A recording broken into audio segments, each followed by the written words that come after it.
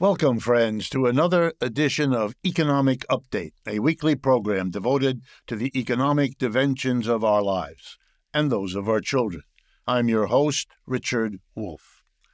I want to begin, as always, these days by alerting you to the fact that we have a volunteer, Charlie Fabian, who's more than willing to accept your suggestions, your references for program topics and developments we could incorporate in what we do here.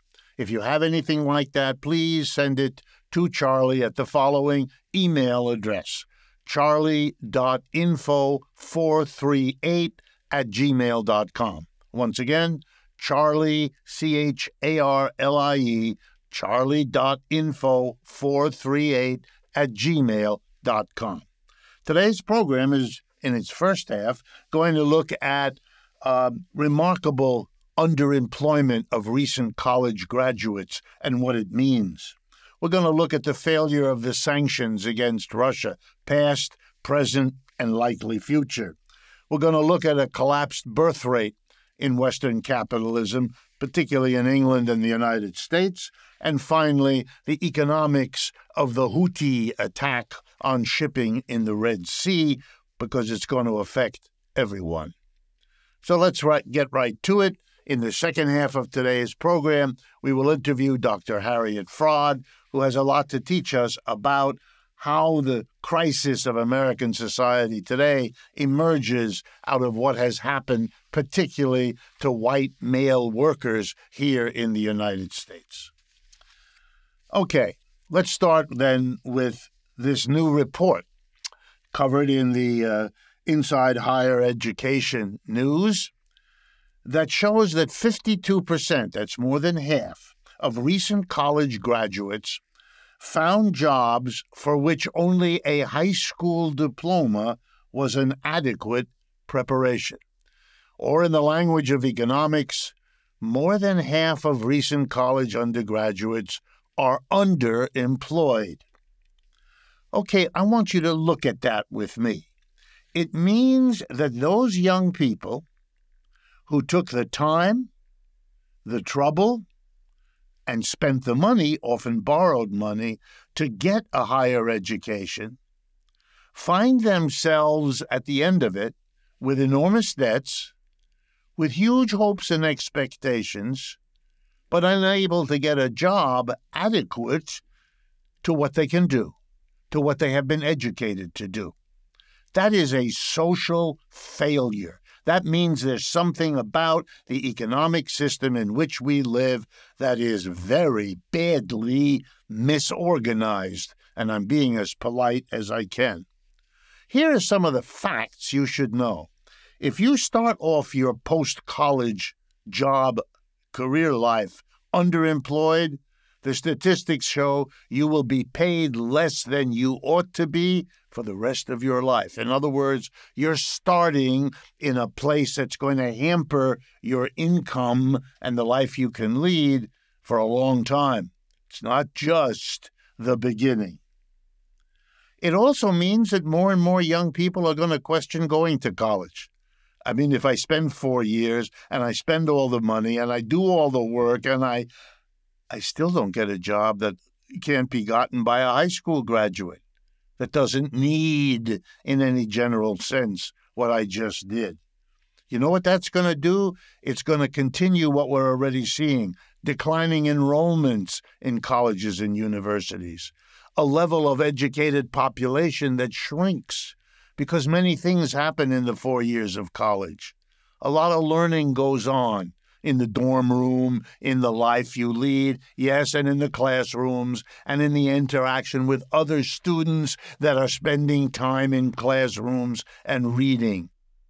There's a benefit to society that we've always understood that is going to be lost as more and more people choose against a life in a society that's misorganized in this way. The whole social structure will be affected colleges and universities are going to have a harder time than they already have meeting their financial obligations because they're not getting the students and therefore not the tuition and not the room and board and all the rest of the income they rely on now more than ever in the past. So it's going to problematize the finance. You see the social consequences? The society that fails to provide really adequate jobs to its college graduates is pushing itself downward in the level of social development. It's shooting itself in the foot. It is hurting itself, and it shouldn't be done, and it shouldn't be allowed, and it's something we all ought to understand because it's a problem that will impact us in a thousand ways as it unfolds, and it is getting nowhere near the attention and the critical awareness that it deserves. In recent weeks, the United States has ramped up the sanctions it's applying to Russia. Well, the first round came after the invasion of Ukraine by Russia back early in 2022. And now these come after the death of Mr. Navalny with lots of suggestions that it's a kind of punishment. And it's always about winning in Ukraine, which seems further away than ever before.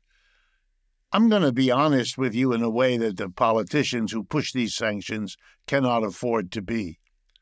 They fail. They failed when they were applied in 2022.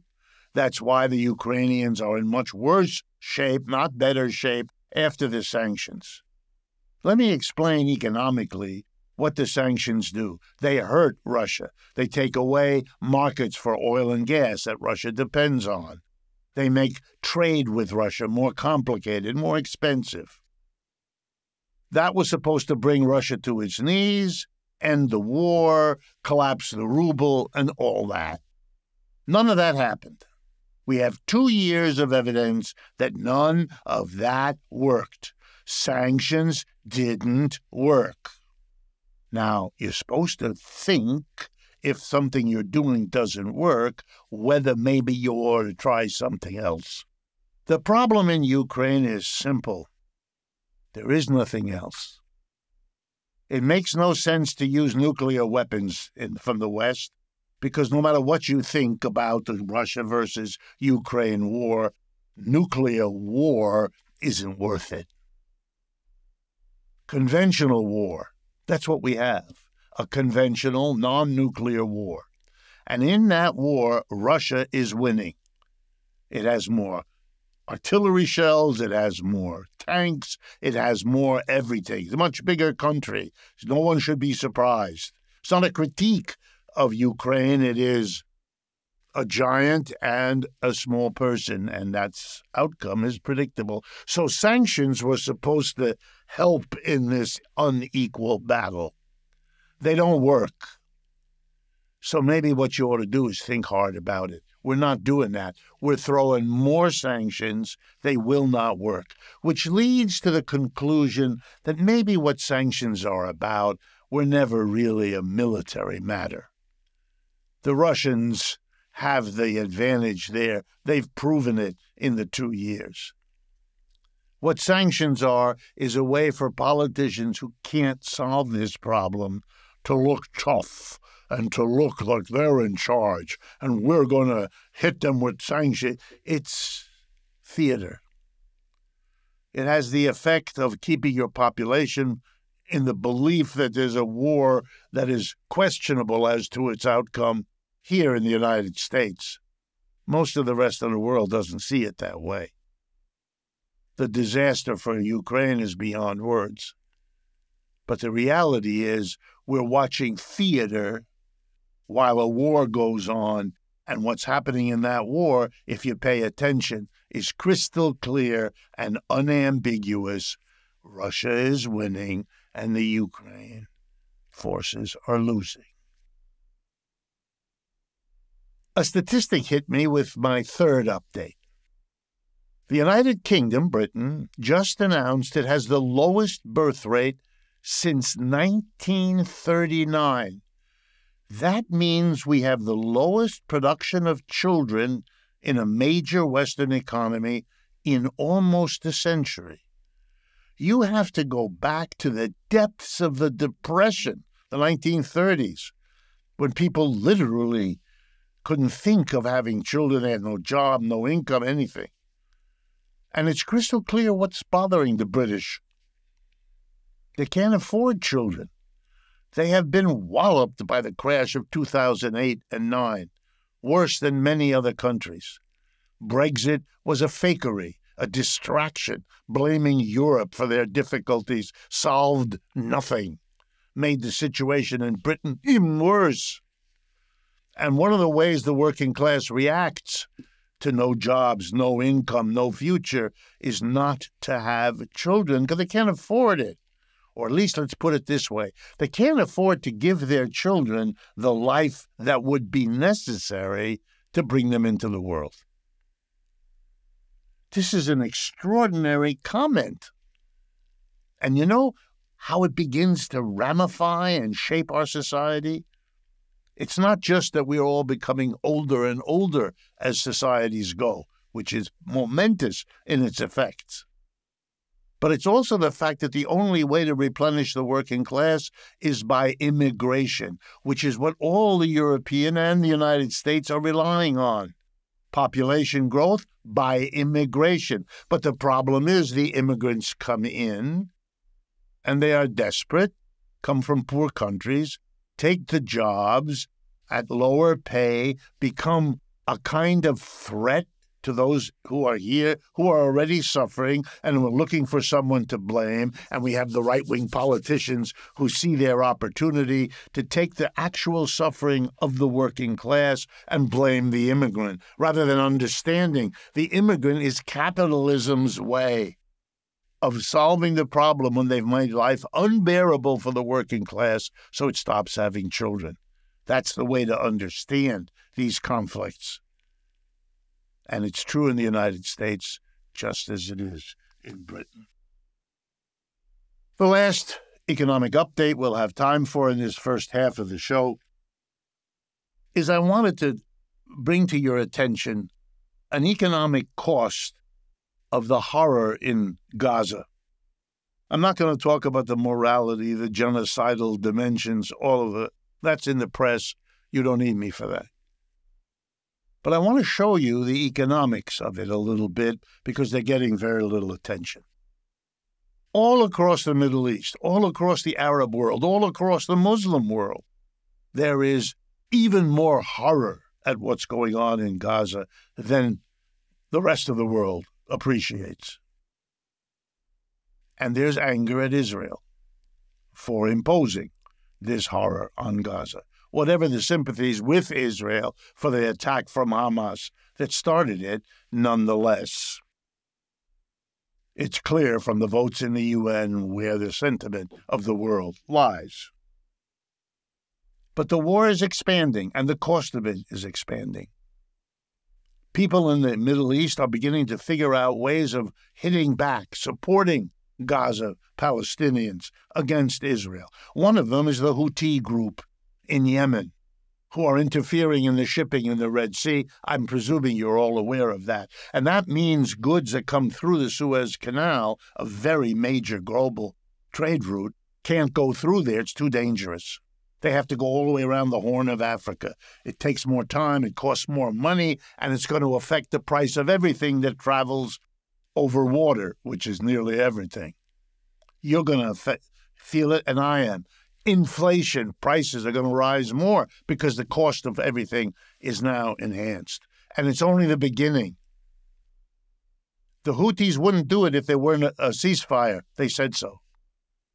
Okay, that's the cost of this of no ceasefire. Your bread is going to cost more because there's no ceasefire. And as other Arab countries do this, as other groups in the Muslim world figure out how they can support the Palestinians, this is only going to grow. And it draws in the United States, which is bombing Yemen eh, because of the Houthis. How many other countries will we do that at? The cost of this is enormous and growing. We've come to the fir- uh, end of the first half of today's show. Please stay with us. The interview with Dr. Harriet Fraad on the working class here in the United States will be very important, I think, for all of us. Stay with us. We'll be right back. Welcome back, friends, to the second half of today's economic update. I'm very pleased to bring back to our cameras and our microphones Dr. Harriet Fraad. She has been here before. You have been very interested and responsive to what she had to offer, and so we have brought her back. Dr. Fraad is a mental health counselor and hypnotherapist in practice in New York City.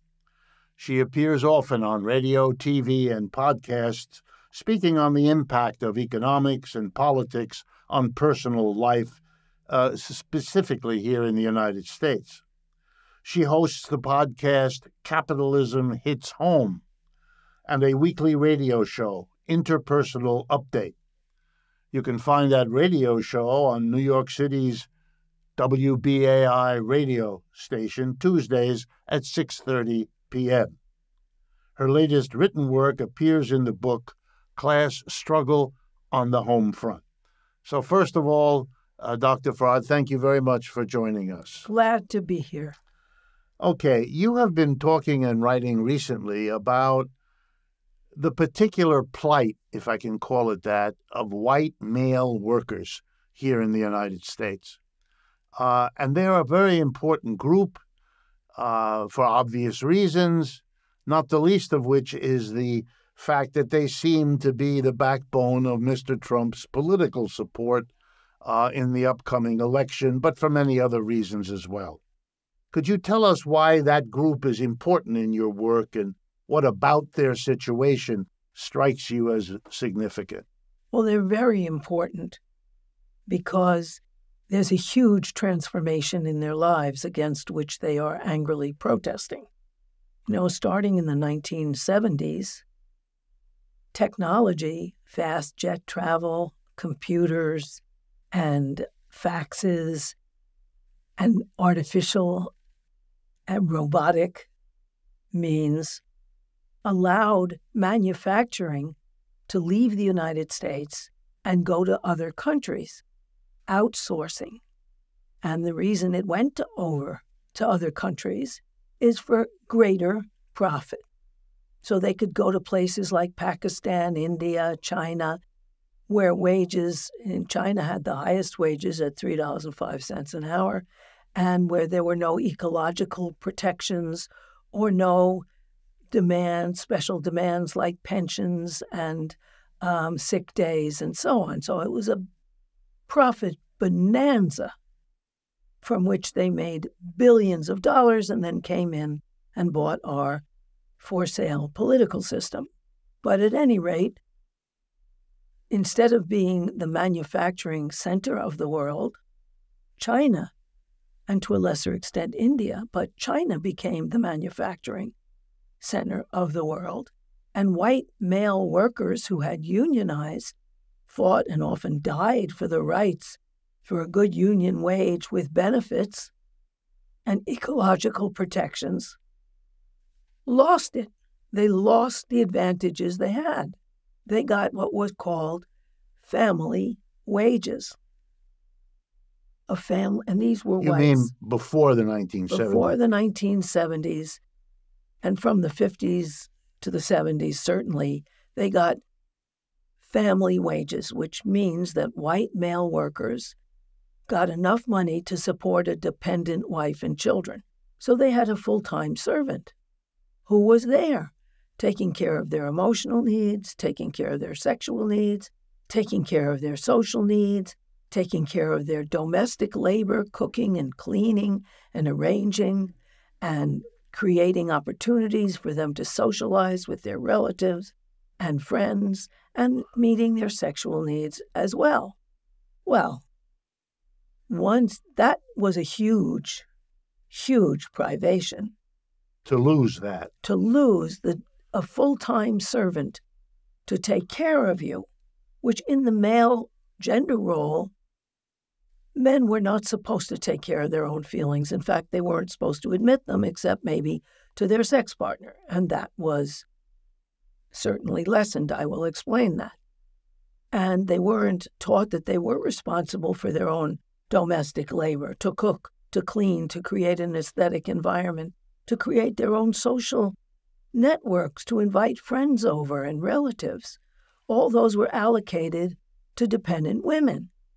Well, once men were denied a family wage because millions and millions of their jobs were outsourced, women had to go out and work in, or, in outside the home as well as within it in order to make ends meet.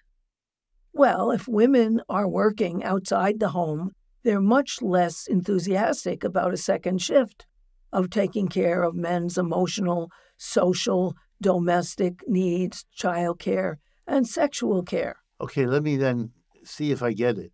So the, the, the men suffer a kind of one two punch.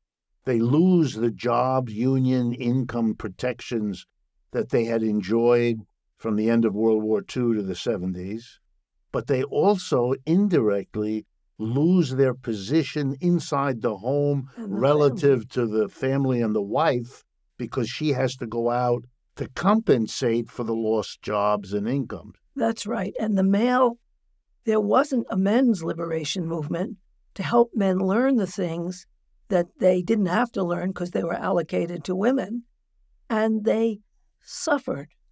And another thing that added to their suffering was the anti communism of the United States. After World War II, the onslaught that deported and jailed anyone who was communist, socialist, or left, and kicking out the left of the labor out of the labor unions, which meant a lot of the spark of the labor unions was gone. So they didn't have that. And men were denied. You know, there was a joke in uh, the 50s and 60s. There's a handy little thing called a wife. You screw it on the bed, it does all the housework and the child care. Great, right? Well, that wasn't available anymore. And men were bereft. In 1965, women got 59% of the male wage. Black women got 44%, but you know, all women together, and the country was mainly white then. You couldn't support your hardly support yourself, no less dependent children on that wage. And women were angry. And so is the following a reasonable inference? The position of white men, particularly workers, particularly those in unionized, good, well paying jobs, is declining for the reasons you've given us. And the women are, in a sense, rising through the women's liberation movement, but also the social Economy. imposition that they have to go out and work and now dress and, and carry themselves and go get an education. So, in a sense, I don't want to overdo this, the position of the white male is diminished in the culture, and the position of the white woman is raised in the culture. And then it becomes possible, particularly for right wing politicians, to see, to set them against each other. In other words, for the men to blame the rise of the women as if that were their problem, especially if there's no left to teach them, no, this is the way capitalism is working.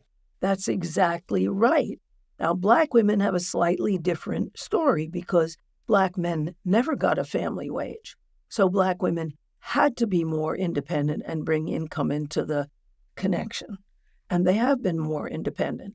But what you have is you have the overwhelming mass of women who are white being forced into the labor force and no longer enthusiastic about doing a second job when they get home. And therefore, that second job is less available to white working class men. And so that if you look at now, 70% of divorces are initiated by women. And blue collar men can't find wives. It used to be that the joke was that the woman drags the man to the altar because he doesn't want to support her. Uh uh-uh. uh Now the altar is being removed by the woman who sees no point in being in a relationship with somebody who demands all sorts of free service and doesn't even support her. You know, it's changed. And so a man loses his family. Also, it should be noted that within the very curtailing and sad male gender stereotype, Men don't have emotional friends. When women are not with men, they do what they've always done get their emotional needs met from friends who are women or from relatives who are women because the emotional world was a female world.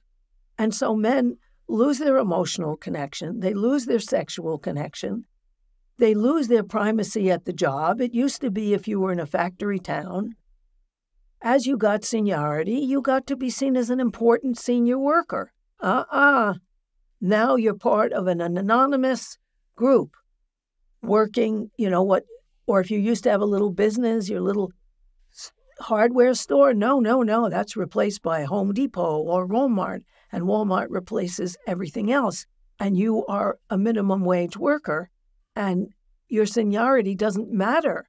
So men stopped mattering. And women had to advance ourselves because we had to survive.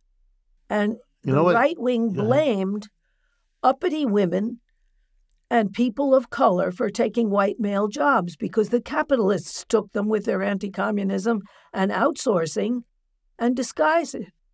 You know? It helps to understand then why a slogan like MAGA mm-hmm. would appeal. Because, in a sense, you're telling us that invoking a past America, idealized, cleansed of all of its problems uh, for sure. But nonetheless, it is speaking to white, older male workers about a lost world confronting an uppity world that has demands of women and people of color who together are a majority of the population. Now. And you begin to see the Trump Biden version of this kind of splitting the society apart. Yes, because make America sexist and racist again and give America, they don't mention the part, give America its jobs back. And those people whose jobs Trump promised he doesn't deliver. I was very impressed by a line in one of Arlie Hochschild's books about the South, where a man says, Look, I know Trump won't deliver what he says, but he understands me. He has my feeling, and Trump is always acting like he's the victim of whatever outrage is going on, even as he's got 91 felony counts against him. He's the victim, even though he raped E. Jean Carroll. He's the victim of the uh, January 6th, even though he watched it with glee as 140 Capitol Police were injured and one died. I mean, really, he is the victim. And that outraged victim resonates with men who feel deprived and who are in a gender stereotype which is as macho as Trump's. I wish we had more time, as I do with so many of our guests, but you really very eloquently explained a great deal of the politics and the economics in our society. The only comment I would add uh, before we adjourn is that the underlying message here is that white and black, men and women, have been shaped even into their conflicts with one another, even in the intimacies of the household, by the evolution of a profit driven capitalism. That's the part of the story that's missing so often, and the part that Dr. Fraad's presentation foregrounds. Thank you for being with us, as always, and I look forward to speaking with you again next week.